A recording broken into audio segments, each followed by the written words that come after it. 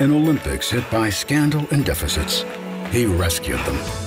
He turned around dozens of companies and became a business legend. A state losing jobs with huge deficits. Governor Mitt Romney turned it around, cutting spending instead of raising taxes. At every step, he's met extraordinary challenges. Mitt Romney, the energy and experience to turn around Washington. I'm Mitt Romney, and I approve this message.